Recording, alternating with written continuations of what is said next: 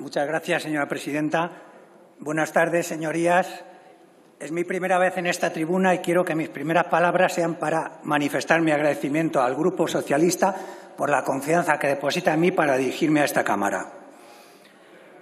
Antes de empezar con el tema que nos ocupa, me gustaría que nos centráramos alguna vez en lo que de verdad importa a los ciudadanos y en que seamos capaces de construir leyes para su mejora, la mejora de su vida y su día a día, y no para enfangar el debate con temas como anuncios de periódicos de no sé qué época, cuando también podríamos hablar de corrupción, pero no es el caso. Vamos a hablar de bomberos y vamos a hablar de protección civil.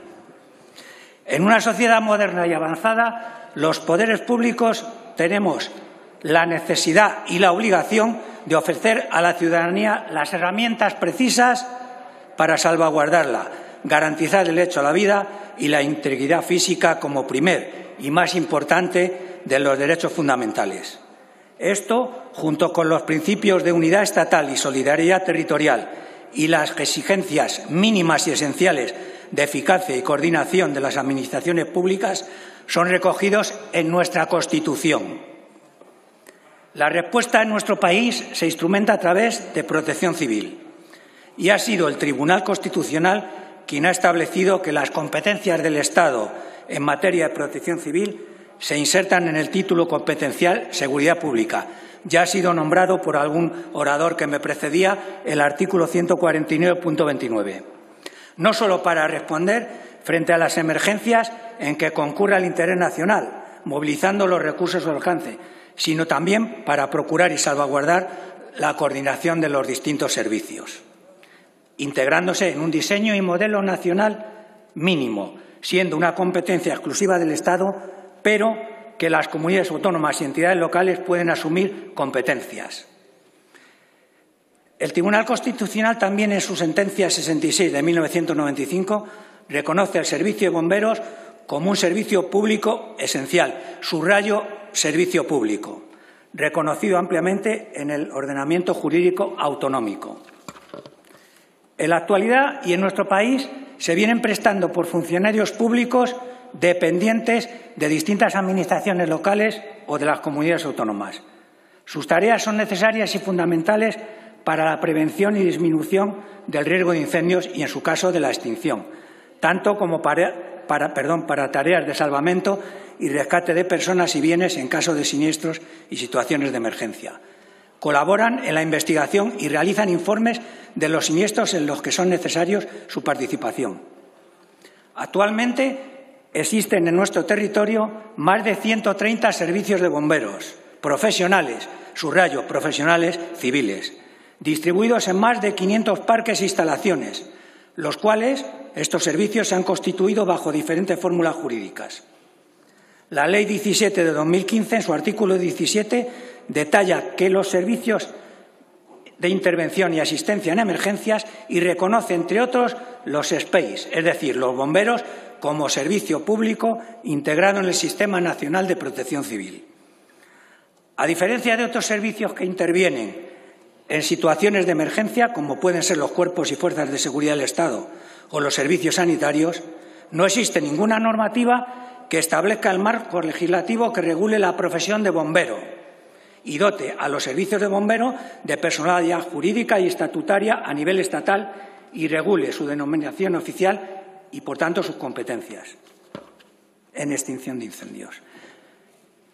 Por otro orden de cosas, en la Ley 7 de 1965, que regula la Ley de Bases de Régimen Local, establece que los municipios con más de 20.000 habitantes tienen la competencia y no solo la competencia, sino también la obligación de prestar estos servicios, siendo la Diputación Provincial, Cabildo o Consejo Insular quien debe asumir esta prestación en aquellos municipios que no tengan ese censo, que no lo superen y que a su vez no cuenten con servicio de bomberos. Adicionalmente, y ya ha sido mencionado antes por otros oradores, en su disposición final tercera dispone que los cuerpos de bomberos se regularán por un estatuto específico aprobado reglamentariamente por el Gobierno. Cuestión esta que nunca se ha desarrollado y, por tanto, estimamos oportuna esta proposición de ley.